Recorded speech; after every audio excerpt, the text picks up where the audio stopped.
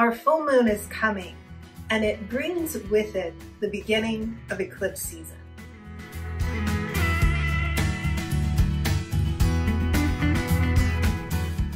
On March 25th, just before 2 a.m. Central Time, our full moon will arrive and it will be a lunar eclipse. This lunar eclipse takes place in the Vedic signs of Virgo, which is where the moon will be, and Pisces, which is where the sun will be.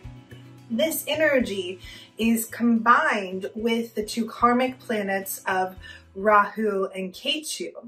And whenever the moon and the sun align with these two planets, it brings eclipse season.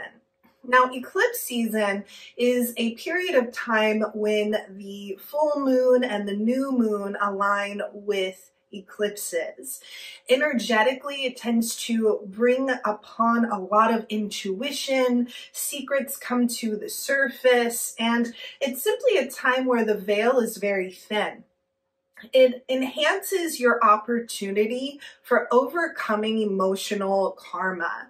Now, in my opinion, karma is simply your emotional reaction to circumstances in your life.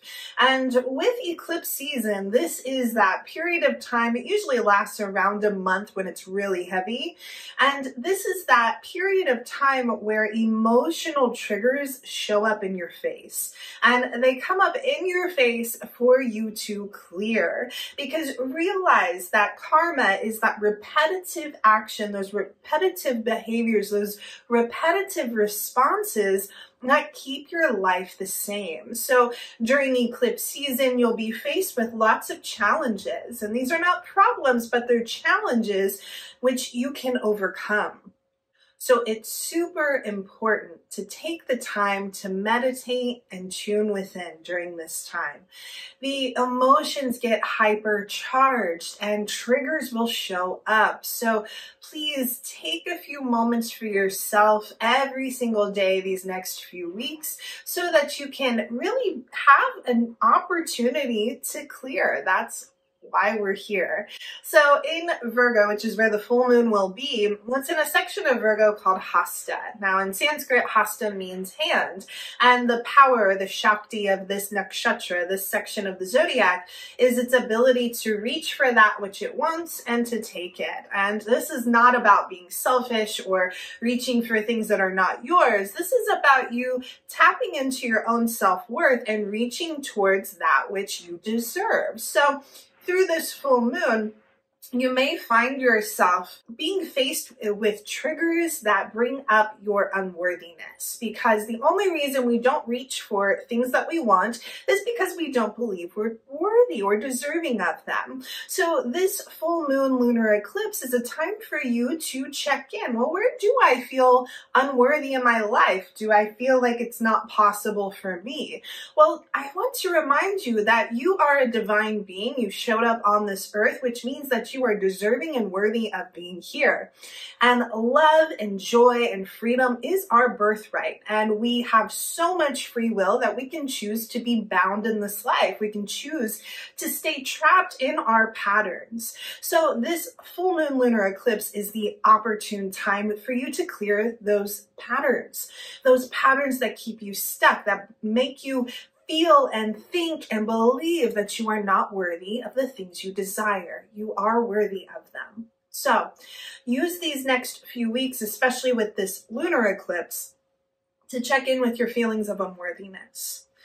Recite what you will say when it shows up, meaning that give yourself a plan.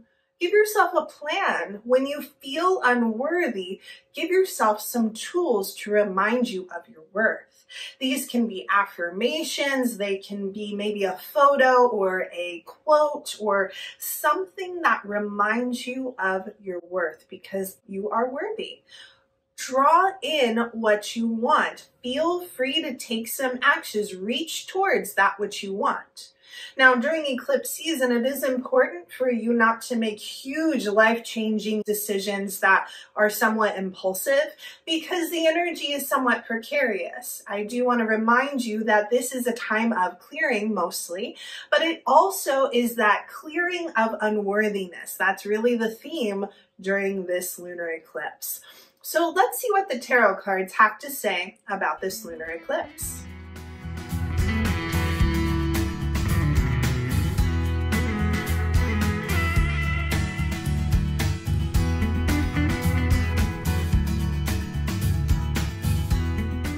Okay, the first card that came up was the Hanged Man. Now, this is a major arcana card. It's a card that typically has a lot of significance. This card shows a man hanging upside down by his own free will. It implies that during this lunar eclipse time, this eclipse season, it's important for you to take a pause and to simply wait. It's a time when really sacrificing and pausing and just holding off on any decisions is very important or it's very useful right now. He is hanging from the tree of life, and so there's a lot of trust within this card. It simply implies that there may be a stall or a little bit of a delay on things you want to move forward, and truly, when we have eclipse season, it's a time when things become obscured. So it is a beautiful time for you to pause and be more of a witness. The second card that showed up is the Two of Pentacles. Two of Pentacles shows a man juggling two pentacles and they're wrapped within an infinity sign. Behind him is a very tumultuous ocean where ships are being tossed. And what this shows is that this man, even though he's got a bit of a concerned look on his face, he does know how to juggle and manage multiple things. And that infinity sign can imply that he has the infinite capacity to handle challenges and obstacles. So it's a really powerful card for creating balance in your life. Make sure that you are balanced with your home life, your work life, your finances are balanced, your spiritual life is balanced. And it's really a time for you to understand that you can handle anything even when it feels like there's a lot going on. And this combined with the hangman shows that sometimes you're going to need to pause and be a witness rather than continually acting all the time. The final card that showed up was the Ten of Pentacles, and this depicts a an older man sitting on something like a throne, adorned with a really wonderful cape, meaning that he has acquired everything he's wanted to acquire in this life. Now, it came after a lot of hard work and a lot of practical thinking, and so what this implies is that if you use this period of time to pause, to review some of those triggers, those emotional triggers that show up for you, that you will be able to navigate them. You have an infinite capacity to navigate the challenges. And once you do so, you will be successful. So it's a really wonderful reading implying that it is going to require some effort. It's going to require some practicality, but you are completely capable of it and it shows success for the future. So my name is Tej from Evolve with Tej and take a look below to see some of my full moon events as well as my other offerings. I offer astrology readings and tarot readings remotely, so schedule a session soon and be sure to subscribe.